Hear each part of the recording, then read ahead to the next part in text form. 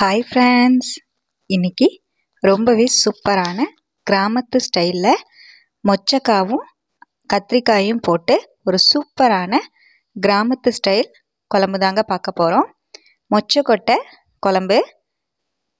இது வந்து நான் வந்து காஞ்ச மொச்சை வச்சு செஞ்சுருக்கேங்க. இது பச்சை மொச்சை கிடைச்சாலும் அதை வச்சு செஞ்சாலும் ரொம்பவே சூப்பராக இருக்கும். இப்போ எப்படி செய்கிறதுன்னு வீடியோக்குள்ளே போய் பார்க்கலாங்க. அதுக்கு முன்னாடி நம்ம சேனலை சப்ஸ்கிரைப் பண்ணாதவங்க சப்ஸ்கிரைப் பண்ணிக்கோங்க. இப்போது நான் ஒரு கால் கிலோ அளவுக்கு மொச்சக்கொட்டை காஞ்ச மொச்சக்கொட்டை வந்து நைட்டே ஊற போட்டு வச்சுட்டேங்க.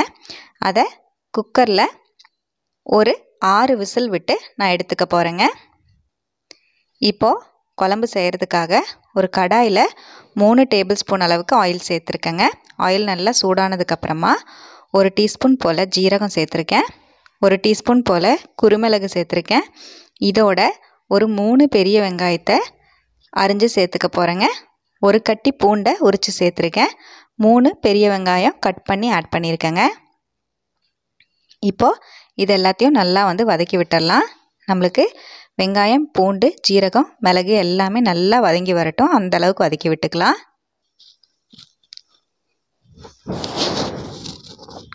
இப்போது வெங்காயம் பூண்டு எல்லாமே பார்த்திங்கன்னா நல்லா ஓரளவுக்கு வதங்கி வரும்போது ஒரு நாலு டீஸ்பூன் போல் கொத்தமல்லி விதை வந்து ஆட் பண்ணிக்கிறேங்க.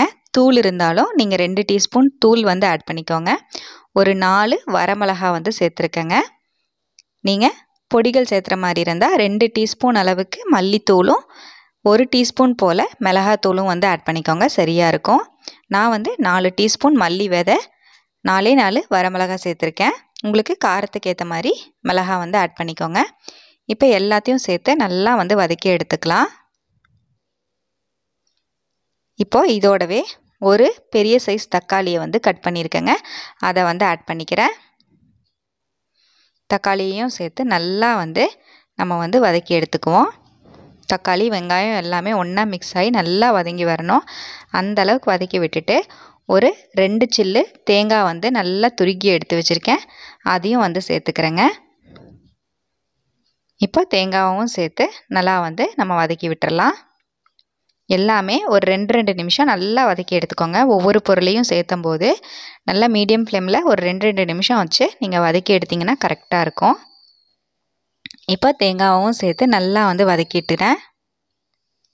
ஒரு கால் டீஸ்பூன் போல் மஞ்சள் பொடி வந்து இதோட ஆட் பண்ணிக்கிறேங்க. இப்போ எல்லாத்தையும் சேர்த்து நல்லா வந்து நம்ம கலக்கி விட்டுக்கலாம். இப்போ அவ்வளோதான் இதை நல்லா ஆற விட்டுட்டு மிக்சி ஜாருக்கு மாற்றி நல்லா நைஸாக அரைச்சி எடுத்துக்கலாங்க. நல்லா ஆறினதுக்கப்புறமா நம்ம அரைச்சி எடுத்தோன்னா தெரிக்காமல் இருக்கும். இப்போ எல்லாத்தையும் வறுத்த அரை வறுத்த மசாலா எல்லாத்தையும் மிக்சி ஜாருக்கு மாற்றிட்டேங்க நான் கொஞ்சமாக தண்ணி சேர்த்து நல்லா நைஸாக இந்த மாதிரி அரைச்சி எடுத்துகிட்டு வந்துட்டேன். இப்போ நம்ம குழம்பு ரெடி பண்ணிக்கலாம். அதுக்காக அடுப்பில் ஒரு பாத்திரம் வச்சுருக்கேங்க. பாத்திரத்தில் ஒரு ரெண்டு டேபிள் ஸ்பூன் ஆயில் வந்து சேர்த்துக்கிறேன். ஆயில் நல்லா சூடான உடனே கால் டீஸ்பூன் போல் சோம்பு சேர்த்துக்கிறேங்க. சோம்பு ஃப்ளேவர் பிடிக்காதுன்னா நீங்கள் அதை ஸ்கிப் பண்ணிவிடுங்க அரை டீஸ்பூன் போல் ஜீரகம் ஆட் பண்ணிக்கிறேன். ரெண்டும் நல்லா பொரிஞ்சு வந்ததுக்கப்புறமா ஒரு பெரிய வெங்காயத்தில் பாதி அளவு நல்லா பொடியாக கட் பண்ணி நான் வந்து சேர்த்துருக்கேங்க. அதோடைய ஒரு ரெண்டு கொத்து கருவேப்பிலையும் சேர்த்து நல்லா வந்து கலந்து விட்டுறேன்.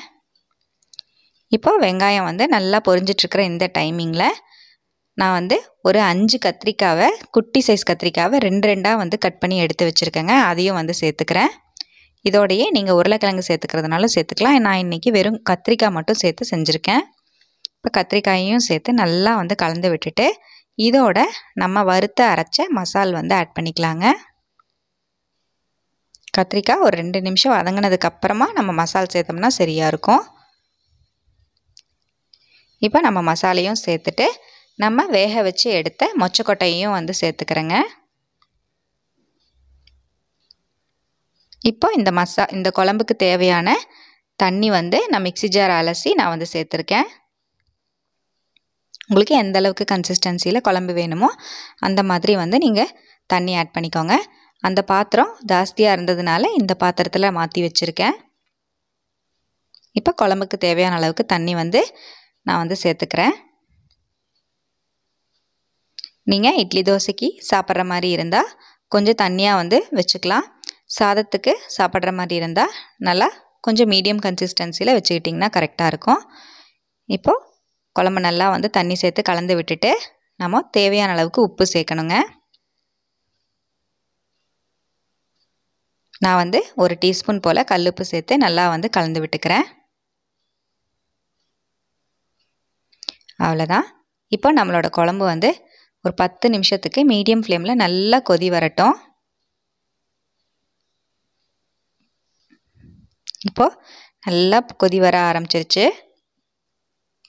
இந்த அளவுக்கு நல்லா கொதி வரும்போது நல்லா கலந்து விட்டுட்டு ஒரு அஞ்சு நிமிஷம் மீடியம் ஃப்ளேமில் மூடி போட்டு மூடி அப்படியே விட்டுட்டோன்னா குழம்பு நல்லா கொதி வந்து கத்திரிக்காயெல்லாம் நல்லா சாஃப்டாக வெந்து வந்துடும் இப்போ ஒரு அஞ்சு நிமிஷம் நல்லா மூடி போட்டு மூடி மீடியம் ஃப்ளேமில் வேக விட்டுக்கிட்டேங்க.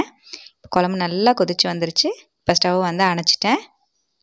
அவ்வளோதான் இப்போது ஒரு கை அளவுக்கு மல்லித்தலையை தூவி இறக்குனோம்னா நல்லா சூப்பரான கம கமக்கிற மொச்சக்கொட்டை கத்திரிக்காய் குழம்பு ரெடிங்க ரொம்பவே சூப்பராக இருக்கும். நம்ம பாரம்பரிய ஸ்டைலில் நம்ம பண்ணியிருக்கோம். வறுத்து அரைச்சி சூப்பராக மசால் ரெடி பண்ணி குழம்பு ரெடி ஆயிடுச்சு. நல்லா சுடுசாதத்தோடையும் தோசை இட்லியோடையும் சூப்பராக இருக்குங்க. சப்பாத்திக்கு கூட நமக்கு பொருத்தமாக இருக்கும். கண்டிப்பாக இந்த குழம்ப வந்து ட்ரை பண்ணி பாருங்கள் ரொம்பவே நல்லா வரும். ட்ரை பண்ணி பார்த்துட்டு எப்படி இருக்குன்னு எனக்கு கமெண்ட்டில் சொல்லுங்கள் நம்ம சேனலை சப்ஸ்கிரைப் பண்ணி எனக்கு ஒரு சப்போர்ட் கொடுங்க.